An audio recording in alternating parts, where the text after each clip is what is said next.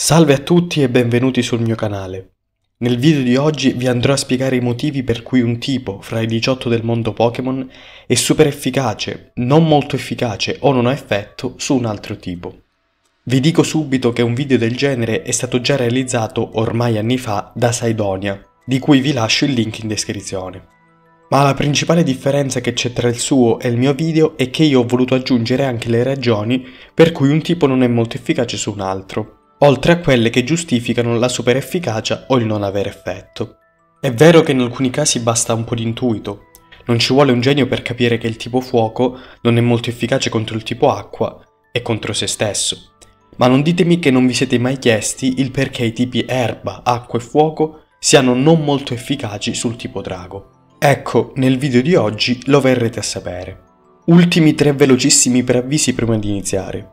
Non tutte le spiegazioni per ogni rapporto di tipo sono facili da capire ed altrettanto sensate, quindi non ve la prendete con me e se ne avete dei migliori potete tranquillamente scriverle nei commenti. Prendo in considerazione solo l'aspetto offensivo di ogni tipo, quindi per fare un esempio dirò che l'elettro non ha effetto sulla Terra e non viceversa, perché sarebbe una perdita di tempo. Infine il video avrà una seconda parte, perché a me non piacciono i video lunghi e se ne avessi fatto uno solo sarebbe venuto di 20 minuti. Quindi oggi prendiamo in considerazione 9 tipi su 18. State connessi per la parte 2. E ora, bando alle ciance e iniziamo. Il tipo normale non è molto efficace sul tipo roccia, dal momento che Pokémon senza particolari poteri e che colpiscono con mosse per l'appunto normali non farebbero altro che il solletico ad una roccia. Lo stesso discorso vale per il tipo acciaio. Il tipo normale non ha effetto contro il tipo spettro per una questione di materia, quella di cui sono privi i fantasmi, pertanto non possono essere toccati. Il tipo fuoco è super efficace contro il tipo coleottero perché il fuoco può essere utilizzato per uccidere gli insetti, così come attraverso il fumo possono essere tenuti alla larga. Pensate allo zampirone utilizzato per scacciar via le zanzare. È super efficace contro il tipo acciaio perché il fuoco fonde l'acciaio. È super efficace contro il tipo ghiaccio, perché al primo accenno di calore il ghiaccio si scioglie e l'acqua ritorna allo stato liquido. È super efficace contro il tipo erba, in quanto le foreste e la vegetazione in generale vengono abbattute per lo più tramite incendi.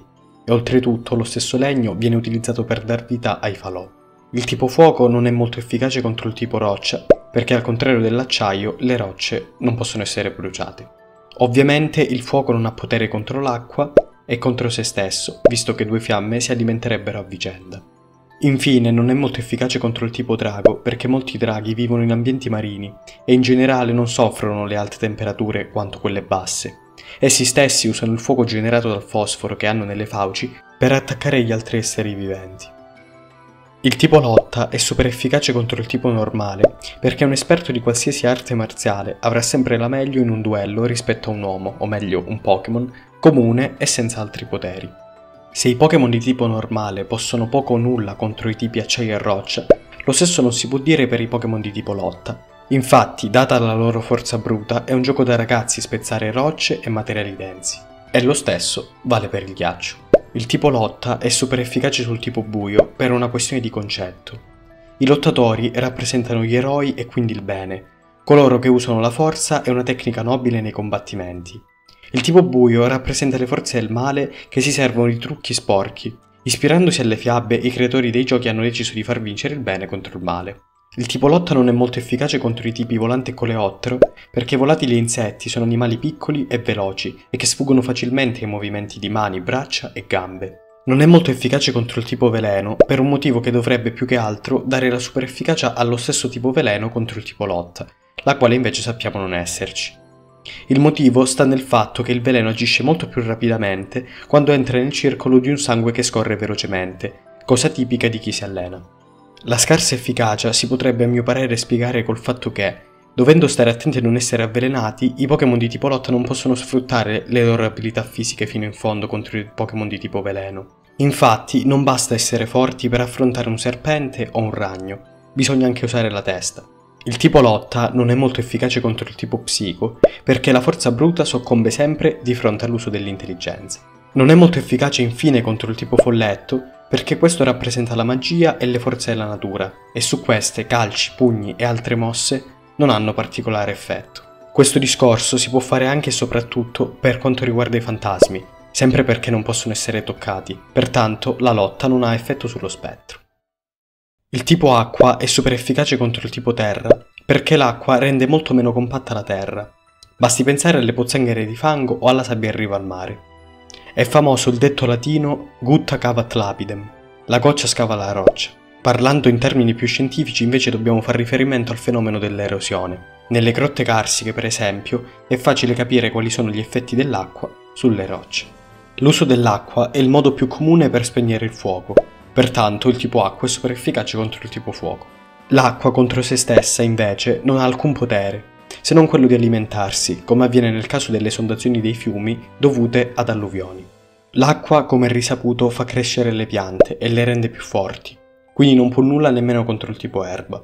E infine, il tipo acqua non è molto efficace contro il tipo drago, perché, come già detto prima, molti draghi vivono in ambienti marini e praticamente nessuno di essi ha paura o si trova a disagio a contatto con l'acqua. Il tipo volante è super efficace contro il tipo lotta, perché se un uccello dovesse ingaggiare un duello contro un lottatore, potrebbe prenderlo a beccate senza subire il minimo danno. È super efficace contro il tipo coleottero e il tipo erba, perché gli uccelli mangiano per lo più vermi e piante. Rocce e acciaio resistono agli attacchi dei volatili più o meno per la stessa ragione del tipo normale. Un colpo d'ala o una beccata, cosa faranno mai contro questi materiali? Il tipo elettro resiste al tipo volante perché gli uccelli devono usare prudenza durante le tempeste e temporali, magari conditi da fulmine e saette. Il tipo erba è super efficace contro il tipo terra perché le radici delle piante crescono appunto nel sottosuolo. Le stesse radici possono spaccare le rocce presenti proprio nel terreno. Il tipo erba è super efficace contro il tipo acqua, perché l'erba è ciò che serve alle piante per crescere, inoltre gli ambienti marini sono ricchissimi di alghe e vegetali. Il tipo erba non è molto efficace su ben sette tipi. Vediamoli rapidamente prima che inventino un altro tipo che lo resista. Volante, fuoco, coleottero e veleno lo resistono per un concetto inverso alla super efficacia che hanno contro di esso. Ovviamente le piante contro se stesse non possono fare granché, L'acciaio, al contrario della roccia, non può essere spezzato dalle radici. Il tipo erba non è molto efficace contro il tipo drago per tanti motivi a seconda dell'interpretazione. Due di questi spiegherebbero più che altro il motivo per cui il tipo drago dovrebbe essere super efficace contro il tipo erba. In primo luogo, i draghi con la loro forza e la capacità di generare fuochi e fiamme distruggerebbero ogni forma di vita vegetale, e in secondo luogo, alcuni draghi si cibano di erba, e nel mondo Pokémon questo è testimoniato dall'abilità di Gumi, Sligu, Gudra e Drampa, appunto mangiaerba. Una spiegazione più forzata potrebbe essere il fatto che i draghi, come gli uccelli e gli insetti, possono volare e quindi staccarsi da terra, allontanandosi dalle piante che necessariamente sono ancorate ad essa. Il tipo veleno è super efficace sui tipi erba e folletto per ragioni simili. L'erba viene eliminata attraverso erbicidi e pesticidi a base di veleno e poiché come detto prima i folletti incarnano le forze della natura, quest'ultima viene contaminata dal veleno. Nella prima generazione il tipo veleno era super efficace anche contro il tipo coleottero, e questo potrebbe essere spiegato facendo riferimento all'uso degli insetticidi, anche questi a base di veleno.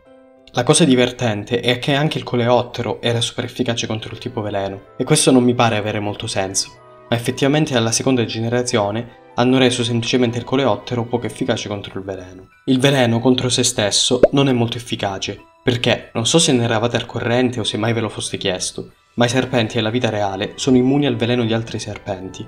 Magari era una cosa scontata, magari no, però io ve la dico lo stesso. Il veleno non reca danni a rocce e terreno, non potendo neanche penetrare in essi.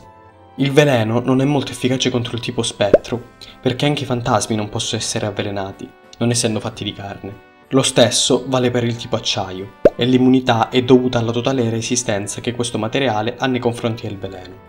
Il tipo elettro è super efficace contro il tipo volante perché tuoni e fulmini mettono a serio rischio la vita degli uccelli, e contro il tipo acqua perché questa è un buon conduttore. Non è molto efficace contro se stesso perché l'elettricità non annulla ma alimenta se stessa. Il fatto che il tipo elettro non sia super efficace, o almeno non arrechi un danno normale, ma addirittura sia poco efficace contro il tipo erba, è secondo me assurdo. È probabile che l'uomo abbia scoperto il fuoco guardando la fine che faceva un albero colpito da un fulmine. L'unica spiegazione logica che mi sono dato sta nel fatto che l'erba in sé non conduce elettricità ed è connessa alla terra, che di fatto annulla gli effetti della stessa elettricità. Il tipo drago resiste al tipo elettro Suppongo io perché i draghi non soffrono le scariche elettriche come gli animali e gli uomini. Mentre una spiegazione più concreta è che fra le tipologie di draghi troviamo draghi celesti e spirituali, che hanno il pieno controllo del cielo, delle nuvole, del vento e delle tempeste. Se qualcuno sapesse qualcosa al riguardo delle resistenze di Erba e Drago all'elettro, scriva nei commenti. Il tipo elettro non ha effetto contro il tipo terra perché un potenziale elettrico diventa inoffensivo se scaricato al suolo. Il tipo terra è super efficace contro il tipo roccia e il tipo acciaio perché una scossa sismica di medio-alta intensità frantumerebbe rocce e ferro. È super efficace contro il tipo fuoco perché si può spegnere un incendio buttando terra su di esso. È super efficace contro il tipo veleno e contro il tipo elettro per il fatto che li rende assolutamente innocui. Non è molto efficace contro il tipo coleottero perché gli insetti possono volare per qualche metro sopra il suolo e subire poco i movimenti della crosta terrestre. Tuttavia avrei reso il tipo coleottero completamente immune alla Terra, proprio come il tipo volante, in riferimento alla capacità di volare o fluttuare che hanno i Pokémon di questi due tipi. Il tipo erba resiste il tipo terra perché le piante sono radicate saldamente nel terreno e subiscono solo lievemente le scosse telluriche.